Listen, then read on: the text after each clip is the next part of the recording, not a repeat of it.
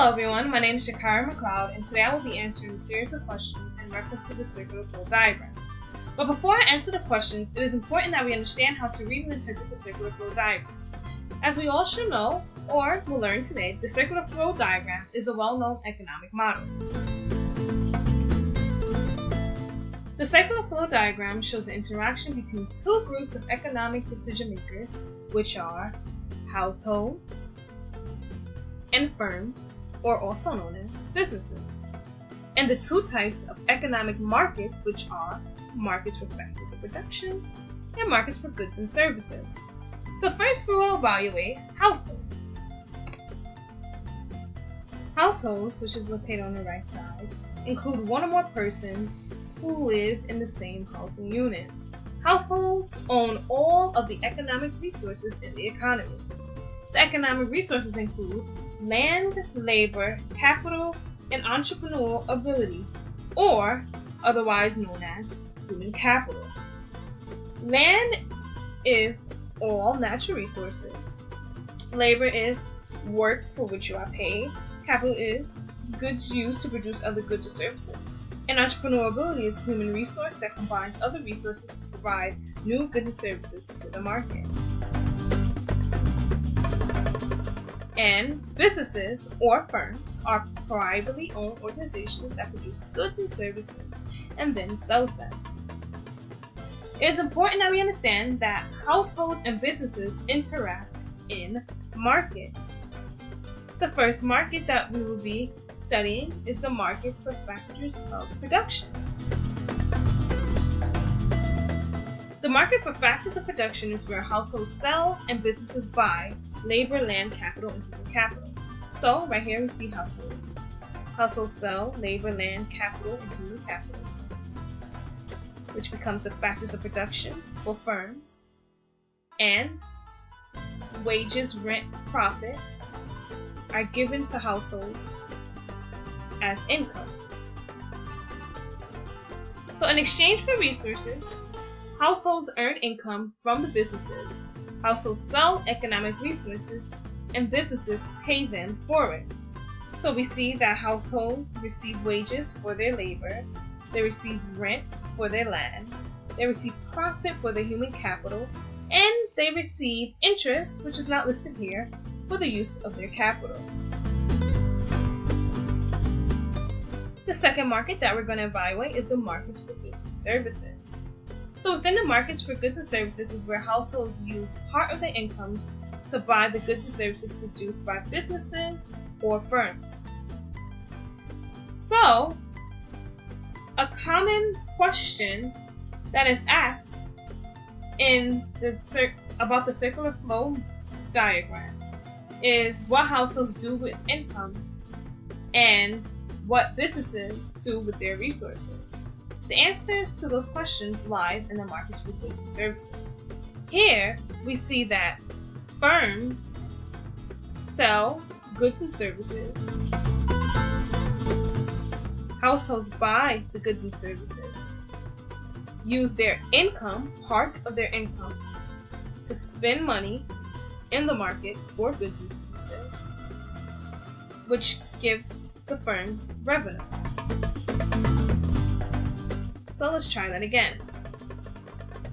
Households spend part of their income in the market for goods and services, which produces revenue for the firms. The firms produces goods and services, sells the goods and services, and the households buy the goods and services.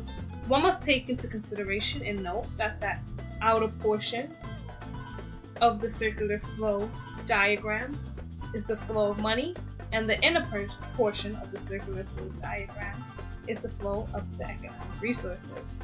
So businesses use the economic resources that they bought from households to produce goods and services.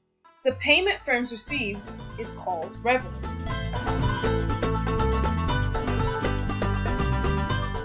Just a quick recap.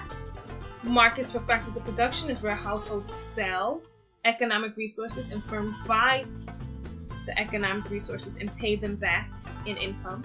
And the markets for goods and services is where firms sell the goods and services, households buy the goods and services and spend part of their income to pay for the goods and services that they buy, which turn into the revenue for the firms.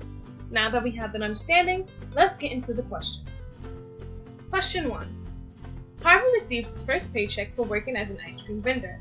To which of the arrows does this transaction directly contribute? Okay, so let's take a look back at our circular flow diagram.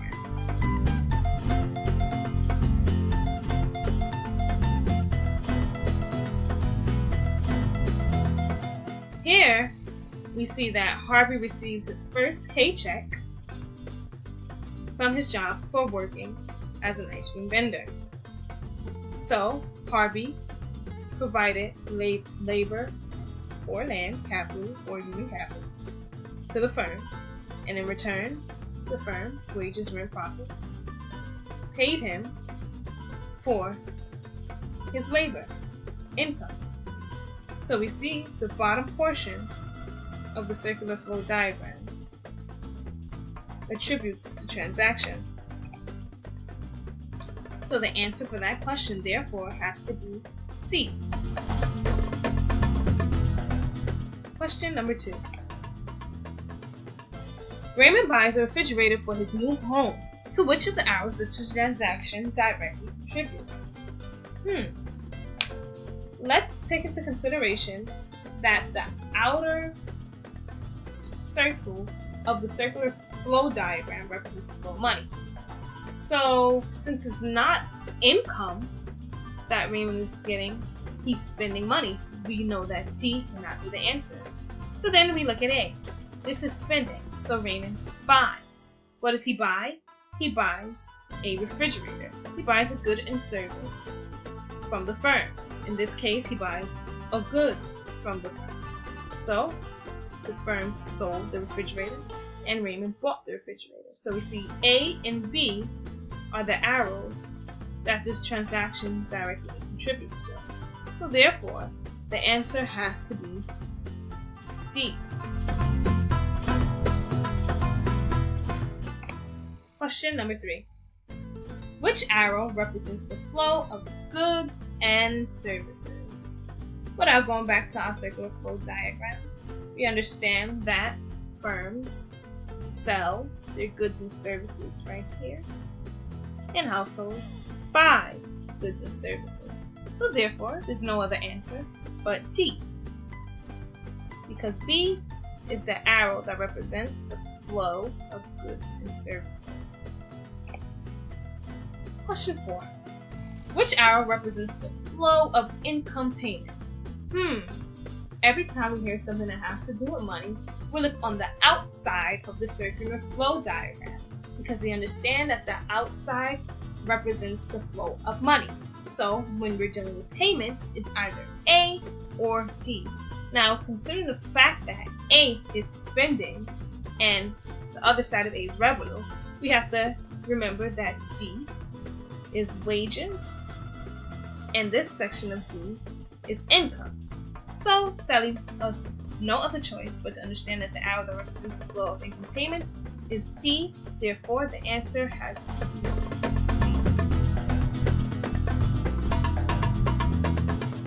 Question number five.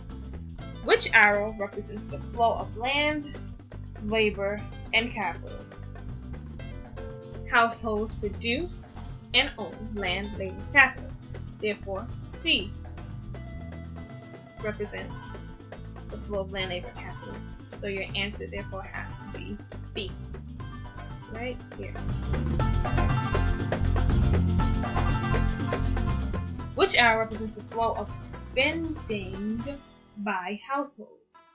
Households spend in order to get goods and services. Spending, they spend money. The outside represents the flow of money. So A is the only answer that represents spending by households. So therefore, which I represents the flow of spending by households, answer therefore is D. And that concludes the questions for the circular flow diagram.